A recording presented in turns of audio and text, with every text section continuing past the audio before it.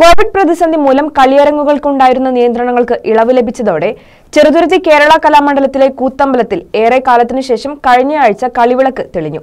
കല്യാണ സൗഗന്ധികം കഥകളിയാണ് അരങ്ങേറിയത്. കഥകളി രംഗത്തെ ആചാര്യസ്ഥാനീയനായ കലാമണ്ഡലം ഗോപിയാശാന്റെ കവിതാ സമാഹാരം അമ്മ കേരള കലാമണ്ഡലത്തിൽ വെച്ച് പ്രകാശനം ചെയ്യപ്പെട്ടപ്പോഴായിരുന്നു അത്. പ്രശസ്ത മോഹിനിയാട്ടം കലാകാരി മിനി ബാനർജി ഗോപിയാശാന്റെ കവിതകൾ മോഹിനിയാട്ട രൂപത്തിലാക്കി അവതരിപ്പിച്ചത് ഏറെ ശ്രദ്ധിക്കപ്പെട്ടു. തികച്ചും വ്യത്യസ്തമായ ഒരു സർഗാത്മക ഇടപെടലായിരുന്നു. മോഹിനിയാട്ട നർത്തകി മിനി ബാനർജി ഈ പ്രഭാതത്തിൽ ഗുഡ് മോർണിംഗ് കേരള വിഷനിൽ നമ്മളോടൊപ്പം ചേരുന്നു. നമസ്കാരം മിനി ബാനർജി. നമസ്കാരം. കലാമണ്ഡലം ഗോപിയാശാന്റെ കവിതകൾ ആധാരമാക്കി ഇത്തരത്തിലൊരു മോഹിനിയാട്ടം രൂപപ്പെടുത്തി അവതരിപ്പിച്ചതിന് പിന്നിലെ പ്രേരണ എന്തായിരുന്നു? ഗോപിയാശാൻ ആദ്യം എഴുതിയ കവിതയാണ് അമ്മ. അത് അച്ഛൻ എഴുതി എനിക്കത് അയച്ചു തന്നപ്പോൾ കവിത ഞാൻ വായിച്ചു.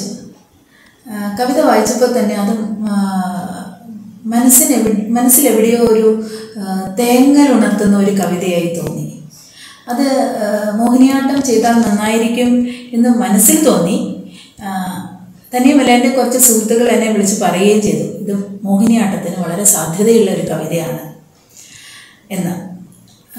പിന്നീട് ഞാൻ എന്റെ നൃത്ത ക്ലാസ്സിൽ ചെന്നപ്പോൾ എന്റെ ടീച്ചറായ കലാമണ്ഡലം സുഗന്ധി ടീച്ചർ ഈ കവിത വായിച്ചു. ടീച്ചർ എന്റെ അടുത്ത് പറഞ്ഞു മിനി ഞാൻ ഈ കവിത കോറിയോഗ്രാഫി ചെയ്യാം. എന്നിട്ട് മിനിയെ പഠിപ്പിക്കാം. അപ്പോൾ എനിക്ക് നല്ല സന്തോഷം തോന്നി.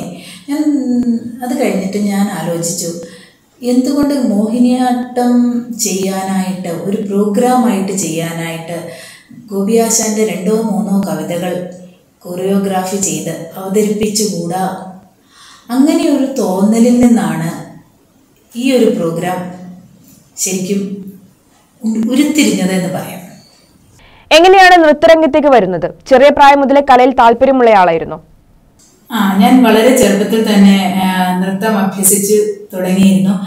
ഏതാണ്ട് ഒരു മൂന്ന് വയസ്സ് തുടങ്ങി ആയപ്പോൾ തന്നെ നൃത്തം അച്ഛൻ എന്നെ പഠിപ്പിക്കാൻ തുടങ്ങി. അച്ഛന് കലകളോട് വളരെ മമതയുള്ള ആളായിരുന്നു. അതുകൊണ്ട് നൃത്തം മാത്രമല്ല നൃത്തം എന്ന് പറഞ്ഞാൽ ഭരതനാട്യമാണ് ഞാൻ പഠിച്ചത്. ഭരതനാട്യം മാത്രമല്ല കഥകളിയും എന്നെ പഠിപ്പിക്കാൻ അയച്ചിരുന്നു. ഏതാണ്ട് ഒരു പതിനഞ്ച് വർഷക്കാലം ഞാൻ നൃത്താഭ്യാസം തുടർന്നു. ഞാൻ പല വേദികളിലും കഥകളിയും ഭരതനാട്യവും അവതരിപ്പിച്ചിട്ടുണ്ട്. അത് കഴിഞ്ഞ് ഒരു ബ്രേക്ക് വന്നു. ഏകദേശം ഒരു ഇരുപത് വർഷത്തോളം എനിക്കെന്റെ നൃത്താഭ്യാസം തുടരാനായില്ല. പിന്നീട് ഞാൻ ഭരതനാട്യവും മോഹിനിയാട്ടവും പഠിച്ചു. ഞാൻ എന്റെ മോഹിനിയാട്ട ക്ലാസ്സിൽ ചെന്നപ്പോൾ സുഗന്ധി ടീച്ചറിന്റെ അതിമനോഹരമായ കൊറിയോഗ്രാഫി കണ്ടപ്പോൾ എനിക്ക് മോഹിനിയാട്ടത്തിനോട് വല്ലാത്തൊരു ഇഷ്ടം തോന്നി. അതുകൊണ്ട് ഞാൻ എന്റെ ഭരതനാട്യം ഒരു വശത്തേക്ക് മാറ്റിവെച്ച് മോഹിനിയാട്ടത്തെ തന്നെ കോൺസെൻട്രേറ്റ് ചെയ്യാൻ തീരുമാനിച്ചു. അങ്ങനെ ഞാൻ മോഹിനിയാട്ടം പഠിച്ചുകൊണ്ടിരിക്കുന്ന സമയത്ത് എന്റെ അരങ്ങേറ്റം ഗുരുവായൂരിൽ വെച്ച് നടന്നു. അത് അതിന് വിളക്ക് കൊളുത്തിയത് ഗോപിയാശാനാണ്. എല്ലാവരുടെയും അനുഗ്രഹം കൊണ്ട് അതിനുശേഷം എനിക്ക് കുറേ നല്ല സ്റ്റേജസ് കിട്ടി. ഇപ്പോഴും ഞാൻ മോഹിനിയാട്ടം പ്രോഗ്രാംസ് ചെയ്യുന്നുണ്ട്. എന്തൊക്കെയാണ് ഭാവി പരിപാടികൾ? നൃത്തരംഗത്ത് എന്തെങ്കിലുമൊക്കെ പ്ലാൻ ഉണ്ടോ? ഞാനിപ്പോഴും മോഹിനിയാട്ടം പഠിച്ചുകൊണ്ടിരിക്കുകയാണ്. ടീച്ചറുടെ അടുത്ത് നിന്ന് മാക്സിമം പഠിക്കണം.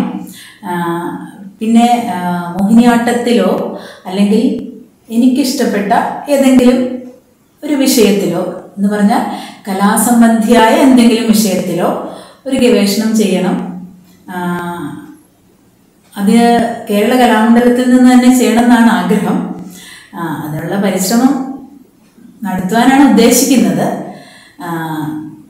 എന്തായാലും അതൊക്കെ നടക്കും എന്ന് വിചാരിക്കുന്നു. വളരെ നന്ദി മിനി ബാനർജി.